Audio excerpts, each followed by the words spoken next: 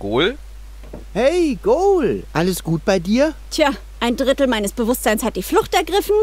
Der Organon besetzt den schwimmenden Schwarzmarkt. Und wenn wir nicht bald etwas unternehmen, sprengt Ulysses uns den Planeten unter den Füßen weg. Ich hab dir doch gesagt, dass es lustig wird. Und ich dachte, du wolltest nur angeben. Ja. Ach, wir müssen in den Gadget-Shop?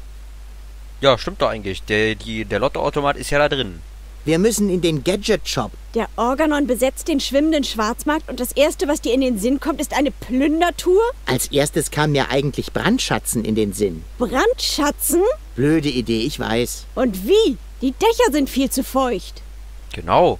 Weiter geht's. Ich hoffe, du weißt, was du tust. Okay, ich gu- schau mich erstmal um. Köderfische. Köderfische. Die Wenzels der Tierwelt. Ah ja, können wir mitnehmen? Hey, was tust du da? Ich, äh, ich verneige mich vor Neptun. Oder äh, ist er das gar nicht? Was? Äh, wo? So. Willst du mich veralbern? Veralbern, beklauen, irgendwie sowas, ja. Na gut. Ähm, haben wir hier noch was? Ach, haben sie jetzt zugemacht. Napf.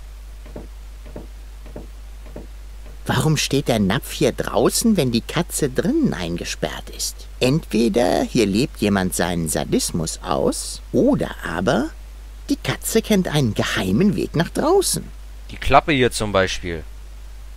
Ich probier mal, sie aufzustoßen. Die Tür war fest verschlossen. Ach, schön.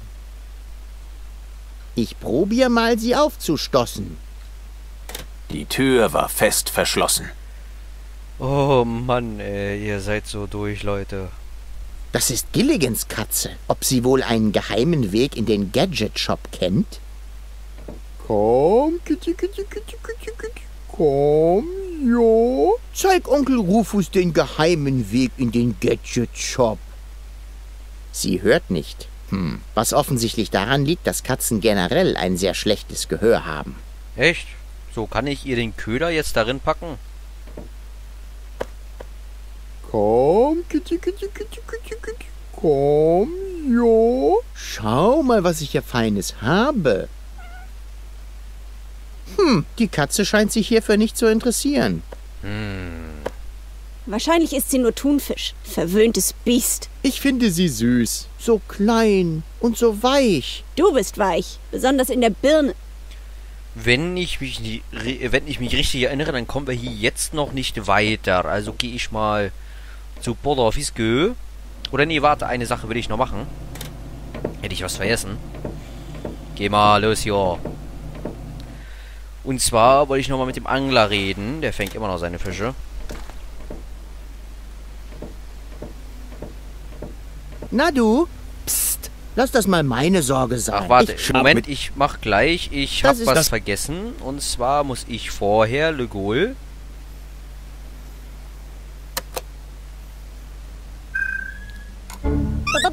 Go! Genau, das ist nämlich eine Voraussetzung. na du? Verschwinde, ich will endlich weiter angeln. Ja, so, und zwar brauchen wir Tu mal nicht so. Du hast auch Angst vor dem Organon. Verschwinde endlich. Ich dachte, du hättest keine Angst. Hab ich ja auch nicht. Hm, Moment da. Oder war das so die richtige Reihenfolge? Ich bin mir gar nicht mal so sicher. Ist schon wieder ein Weilchen her. Willst du mir immer noch erzählen, dass du keine Angst vor dem Organon hast? Nein, ich will dir nämlich gar nichts erzählen. Ich will nur meine Ruhe. Also zieh Leine. Und dass der schwimmende Schwarzmarkt angegriffen wird, stört dich also gar nicht? Nicht die Bohne. Der Einzige, der mich hier stört, bist du. Wenn du keine Angst hast, warum angelst du da nicht weiter? Warum wohl? Du zitterst am ganzen Körper, deine Hände sind schwitzig. Wie das halt so ist, wenn man Angst hat. Falsch. Du bist das Problem. Immer wenn du in der Nähe bist, fange ich nur Stiefel. Also zieh Leine. Ne, sagen wir weiter. Ah, hier ist es ja. Könntest du einen Stiefel für mich fangen? Willst du mich beleidigen? Wenn sich das herumspricht, könnte ich aus dem Anglerverband fliegen. Ist das gerade deine einzige Sorge? Der Anglerverband? Nein, du bist ja auch noch da. Ah ja, du kannst es gar nicht, oder? Du kannst das gar nicht, oder? Nicht solange du hier stehst. Hühnchen. Du verschwendest deine Zeit. Ein Angler lässt sich durch nichts aus der Ruhe bringen. Na gut. Das ist ein freies Land. Ich kann stehen, wo ich will. Nicht auf meinem Kai. Ich sehe kein Schild. Wenn du noch eine Pupille brauchst, sag Bescheid. Du kannst jederzeit einen Angelhaken ins Auge bekommen. Komm schon. Ich bin auch ganz ruhig. Selbst wenn ich dir das glauben würde, obwohl du ständig das Gegenteil beweist, du bringst immer noch Pech. Solange du hier stehst, fange ich nur Stiefel. Ja, gib mir einen Stiefel. Ich verschwinde erst, wenn du mir einen Stiefel fängst. Spekulierst du etwa darauf, dass ich die Geduld verliere? Bring mich nicht zum Lachen, du Zappel, Philipp. Ich bin Angler. Ich hab mal einen Zauberwürfel gelöst, indem ich gewartet habe, bis alle Farben verblichen sind. War das eine Herausforderung? Nein, das war eine Aufforderung zur bedingungslosen Kapitulation. Haha, da bist du an den Falschen geraten. Ich habe noch niemals aufgegeben. Das werden wir ja sehen. Bevor ich die Geduld verliere, sind deine Füße abgefault. So, jetzt warten wir. Hm. Wir warten, wir warten. Muss das wirklich sein, Rufus? Halt dich da raus. Das hier ist wichtig. Oh, Himmel. Wir warten, wir warten. Wir warten auf den Tod.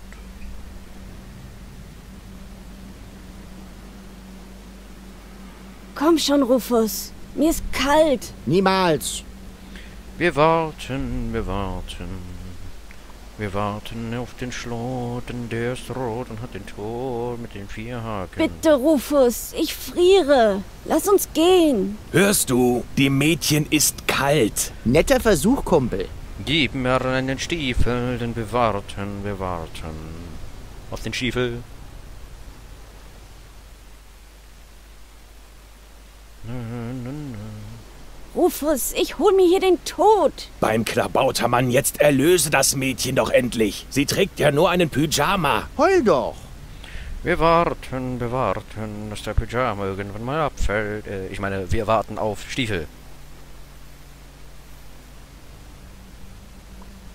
Rufus, bitte. Okay, okay. Ich geb auf. Ich kann mir das nicht länger mit ansehen. Hier hast du deinen blöden Stiefel. Ich hoffe, das war es wert. Natürlich!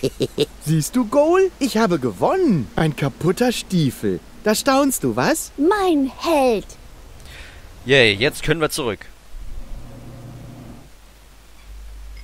So, den habe ich nämlich schon mal auf Vorrat geholt, weil ich keinen Bock habe, hier dauernd hin und her zu gehen. Ja, sparen war Zeit.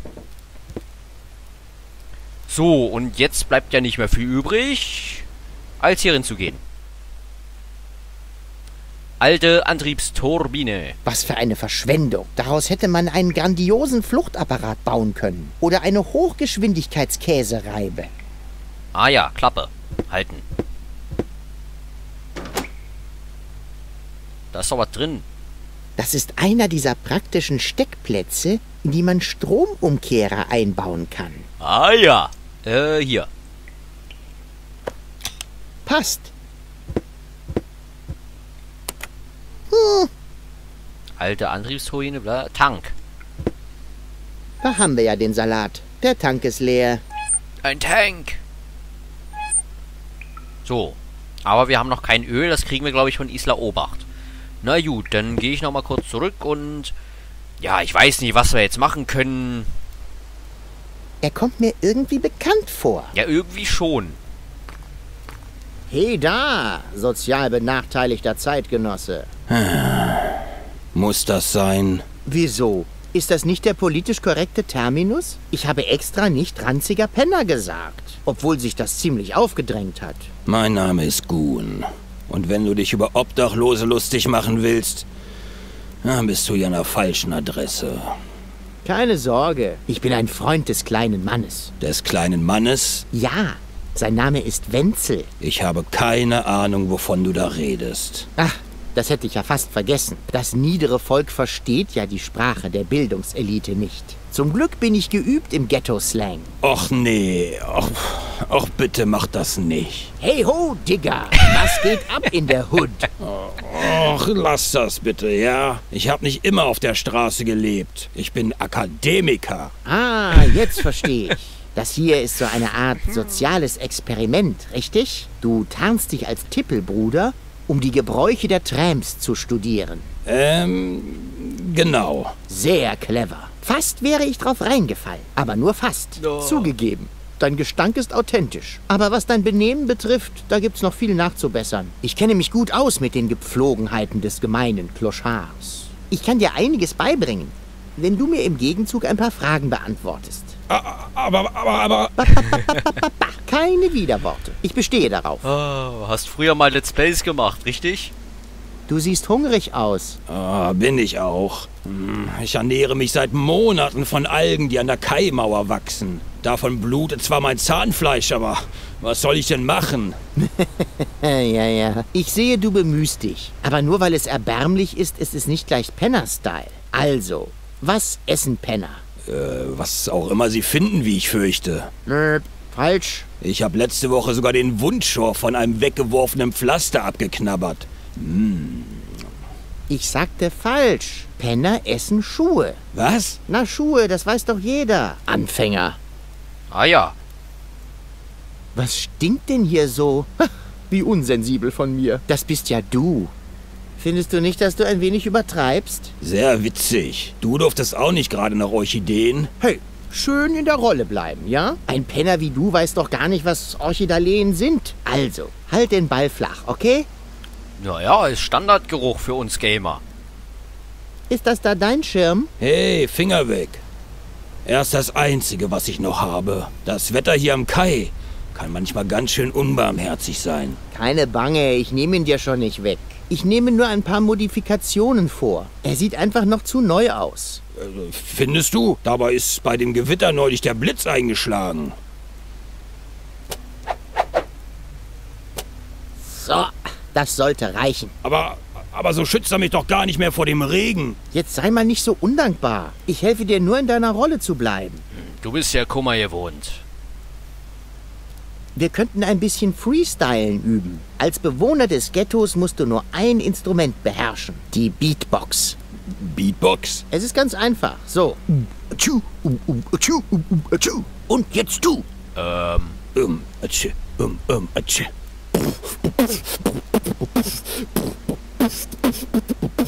Rufus hat den Groove. Rufus hat den Groove, yeah. Der ist cool, beliebt und lässig, wer kickt ass erfahrungsmäßig. Seine Pläne immer episch, nicht kopierbar, weil genetisch. Er ist Rufus. Yeah, yeah, Rufus. Wer ist geiler, weil er steiler geht und Styles bringt wie ein Eipaket? Wer kommt krass und ganz weit rum? Wer ist bald auf Elysium? Rufus. Yeah, yeah, Rufus. Bam, bam.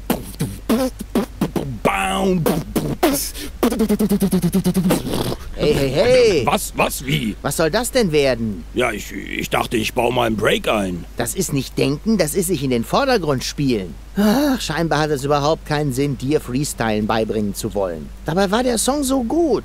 Penner. auf iTunes verkaufen. Hast du zufällig ein Tauchboot hier vorbeikommen sehen? Nein, tut mir leid. Ich habe die Schnorchelausrüstung wohl in meiner Winterresidenz gelassen. Zu schade. Äh, du hast gar keine Winterresidenz. Das war Sarkasmus. Du bist wohl ein Blitzmerker. Okay, nie wieder Sarkasmus. Penner benutzen nämlich keinen Sarkasmus. Das sagst du. Kannst du mir etwas über Porta Fisco erzählen? Klar, was möchtest du wissen? Ähm, Wie komme ich zur oberen Aufstiegsstation? Äh, gar nicht. Der Organon hat alle Wege zum Aufstiegszoll abgeriegelt. Dann weißt du vielleicht auch. Weißt du, wo ich den geheimen Unterschlupf der Rebellen finde? Hä? Na, na klar, der Eingang ist direkt hier in der Kanalisation. Ich meinte den geheimen Unterschlupf. Ich, äh, ich kenne nur den hier.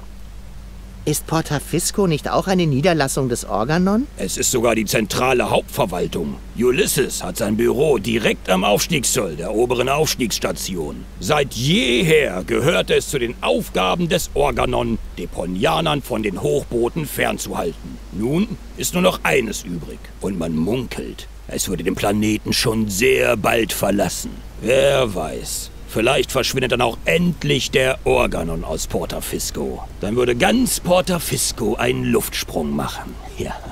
Mehr als du denkst. Äh, bitte was? Äh, beim Gähnen verrenkt. So langweilig fand ich die Geschichte jetzt gar nicht.